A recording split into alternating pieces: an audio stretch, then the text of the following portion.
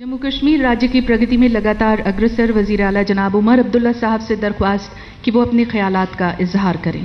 वज़ीर आज़म जनाब नरेंद्र मोदी साहब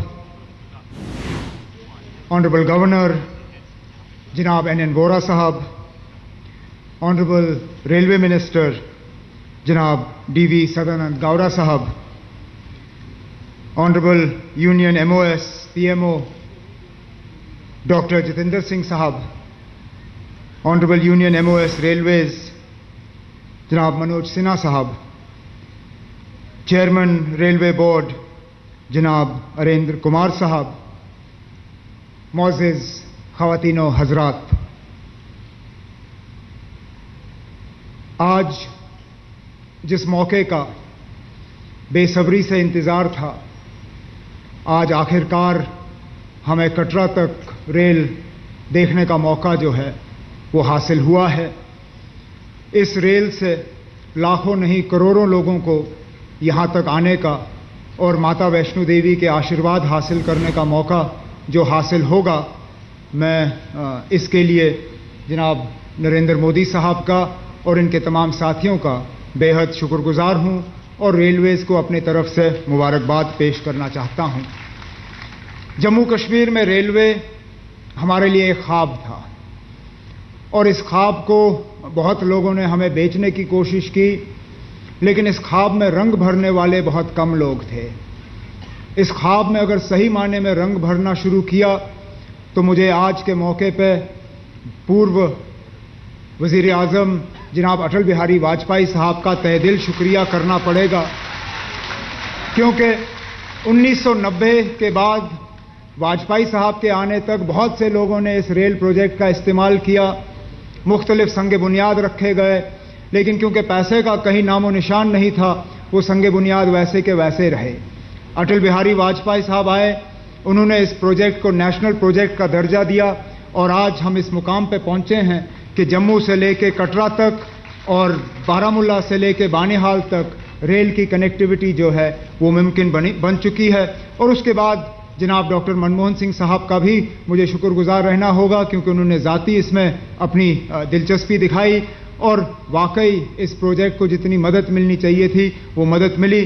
अब जनाब हम आपसे उम्मीद करते हैं कि जो बाकी हिस्सा रहा, रह चुका है जिसके वजह से ये प्रोजेक्ट जो है हम पूरी तरह से इस्तेमाल कर नहीं पाते हैं, कटरा से लेके बानीहाल तक इसका जितनी जल्दी जो है, इसको हम मुकम्मल कर पाएँ।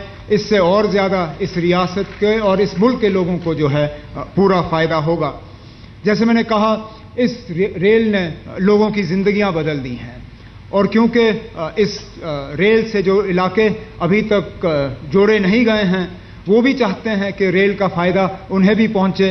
वो भी चाहते हैं कि उन्हें भी मौका मिले कि रेल के ज़रिए वो जम्मू आएँ श्रीनगर आएँ। और इसलिए आज के मौके पर मैं आपसे गुजारिश करना चाहता हूँ कि इस जम्मू से लेके बारामूला के रेल लाइन को अब जो है इसकी लैटरल कनेक्टिविटी अगर की जा सकती है, जम्मू में अगर इस रेल को रजौरी पुंछ तक लिया जा सकता है, जम्मू में अगर इस रेल को चिनाब की वादी के तरफ़ से डोडा और डोडा से आगे लिया जा सकता है कश्मीर में, अगर इस रेल को, क्योंकि अभी ये सिर्फ़ एक नॉर्थ साउथ एक्सेस है, अगर इसको ईस्ट वेस्ट कनेक्टिविटी देके इसको कुपवारा तक ले लिया जाए, इसको टंगमर्ग तक ले लिया जाए, एक तो इसको टूरिज़्म की वजह से इस रियासत को बहुत बड़ा फ़ायदा होगा, और इकोनॉमिकली भी हमारी जो कनेक्टिविटी जो है, वो बढ़ जाएगी, और, इस रेल का वाकई, जो हम उम्मीद कर रहे हैं, इस रियासत को फ़ायदा पहुँचे, हम इसका फ़ायदा जो है हासिल कर पाएँगे।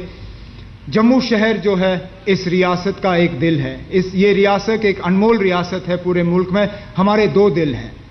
जम्मू शहर और श्रीनगर शहर।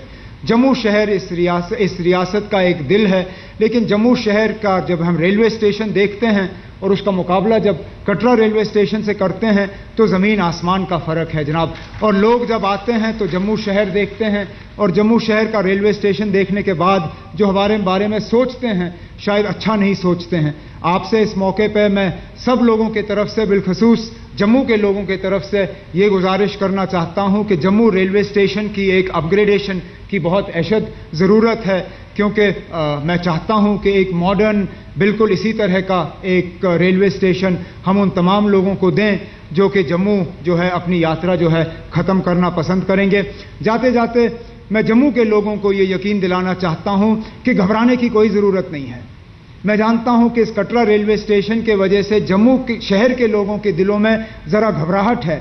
कि उनको डर इस बात का है कि जो हाल पठानकोट का हुआ था, जब रेल जम्मू तक पहुँची, अब जम्मू के लोगों को डर है कि कहीं ऐसा ना हो कि जम्मू का हाल वही हो जो पठानकोट का हुआ, रेल कटरा पहुँचते पहुँचते ये नामुमकिन है। और हमारे होते होते हम जम्मू शहर के साथ ये होने नहीं देंगे। जम्मू शहर को जो है, जो अहमियत दी गई है, जम्मू शहर की जो अहमियत है, जैसे मैंने कहा, जम्मू शहर इस रियासत का एक दिल है। जम्मू शहर का वो हाल हो नहीं सकता जो पठानकोट का हुआ था।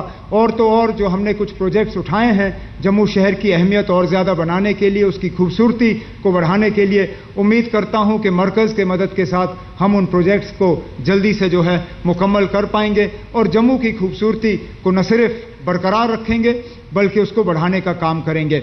आज जिस तरह डॉक्टर जितेंद्र सिंह साहब ने कहा, आज इस मौके पे कोई और बात करना यहाँ पे ठीक नहीं होगा और शायद आ, माता को भी ये बात जो है जचेगी नहीं। माता ने हमें यहाँ पे बुलाया तो इस रेल के इनाग्रेशन के लिए मैं अपनी बात रेल तक ही बाँध देता हूँ। इस उम्मीद के साथ कि आप जब फिर कभी इस रियासत में हाजिर होंगे और यहाँ पे हमें आपके साथ मुलाकात का मौका हासिल होगा तो उस वक्त इस रियासत के तमाम बाकी मुश्किलों के बारे में मैं उस वक्त आपको बताने का जो है मौका इस्तेमाल कर लूँगा। इन्हीं अल्फाजों के साथ बहुत बहुत शुक्रिया। जय हिंद, जय जम्मू कश्मीर।